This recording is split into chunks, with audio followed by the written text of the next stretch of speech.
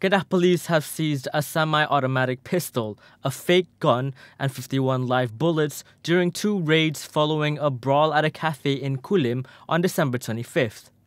Deputy State Police Chief Deputy Commissioner Dato Abdul Jalil Hassan said police discovered a black plastic bag containing a Glock 3C semi-automatic pistol when raiding a house at Lorong Sekolah Convent on December 27th.